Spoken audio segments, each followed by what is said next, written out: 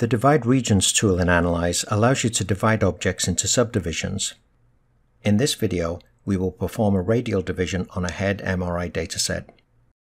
To start, select the dataset and open Segment. Switch off the Renderings window, set the primary display to axial, and using the Slice tool, navigate to a slice that displays the ventricles. Next, select Manual and choose Auto Trace. Set a seed point in the white matter and adjust the minimum and maximum threshold values to define the brain. Click Apply to define the brain. Now select the Divide Regions tool and set the divide type to radial.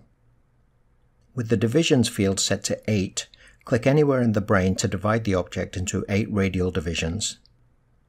Like grid division and between borders division, Radial division of objects can be useful for subdividing structures into various substructures.